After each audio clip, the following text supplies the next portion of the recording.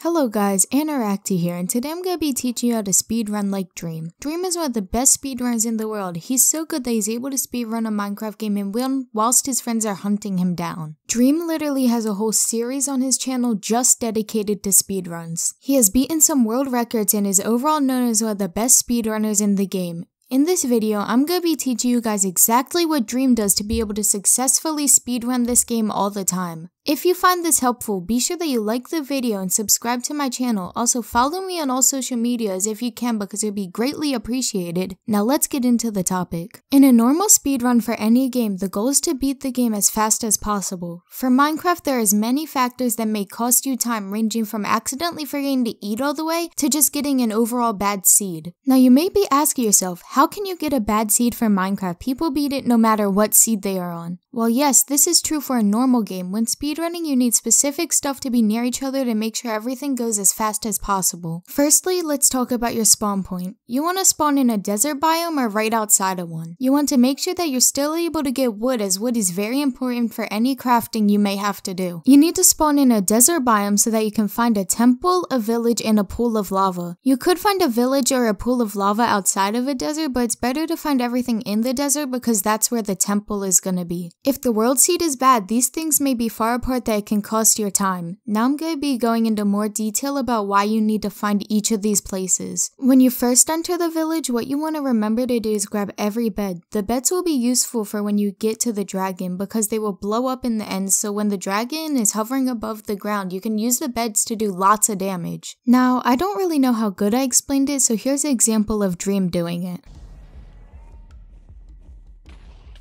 As you can see, once he placed the bed, it exploded causing more damage to be dealt to the dragon than if you just hit it with your sword. Next, you want to collect the hay. The hay will be turned into wheat which can be used for bread. I think this part is pretty self-explanatory, so I'm just gonna go on to the next part. You will then want to kill the iron golem by hitting it, then stack up to where it can't reach you, but you can reach it. Let's watch a clip of Dream doing this as an example.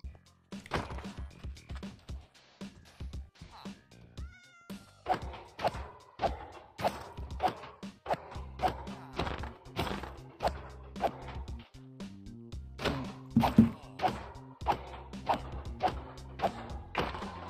As you can see, Dream did misclick at one point, which may have costed him a few seconds, but you get the idea of what you have to do. Killing the iron golem is important because it allows you to get some iron without mining. You will want to have enough iron to craft a bucket and flint and steel. You want to find gravel and water fast because filling up that bucket with water and making flint and steel is very important to the speedrun. Before we get into why you need to find the temple, I want to say be sure to craft all stone tools besides a hoe as fast as possible because these tools will save you a bunch of time. When you're in the temple, be sure to collect all the TNT from the bottom because it will help you if you have to do any mining. Now let's talk about why a temple is important. When you enter a temple, you will see that it's four chests, but what you want to take out of these chests is all the ores, golden apples, and string. This is basic stuff, but something else that may not be there but is really important is an enchantment book that has looting. Here's a clip of Dream and his friend's reaction to when Dream found a looting book. Oh! yes! Finally.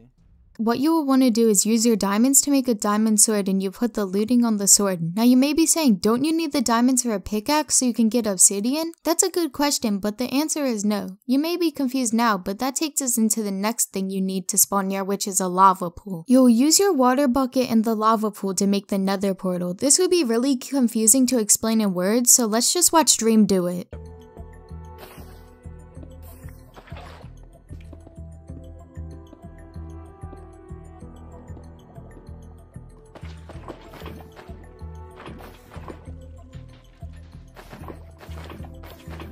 He did that pretty fast because he is experienced, but with a bit of practice, you will soon be able to do it as fast as him or even faster. Now you are in the nether and you have to find a fortress and at this point this will either ruin the speedrun or completely make it go in your way. If you spawn too far from the fortress, then you should just completely restart the speedrun at that point unless you're just not going for a world record time and you're just going for your own personal best. But if you spawn close enough to the fortress and you find it within enough time, you're gonna enter that fortress and find blaze as fast as possible. You will want to make sure that you get at least 8 blaze rods before you leave, which is why looting is very important to have because then it will let you get the rods even quicker. Once you get to the overworld, you will want to craft the blaze rods into blaze powder and use it to make Eyes of Ender. Make sure you get enough blaze rods to where if your Eyes of Ender break, you will still have enough for the portal. It takes 12 Eyes of Ender to fully activate the end portal, and each block of the portal has a 10% chance of containing an eye, so chances are you will need a good amount of these. After following the eyes, it's up to you to dig down to the stronghold where you'll find the end portal. Before entering the portal, make sure you have beds, a sword, a water bucket, and a bow. These things are needed to successfully speedrun killing the dragon. If you guys found this video helpful at all or just enjoyed it overall, be sure to leave a like and subscribe. I will link down the video of Dream beating the 1.15 world record if you guys want to take notes on what he did for yourself. Overall, I tried my best to explain this and I hope you found it at all helpful. Anyways, that's it for this video and I'll see you in the next one. Peace.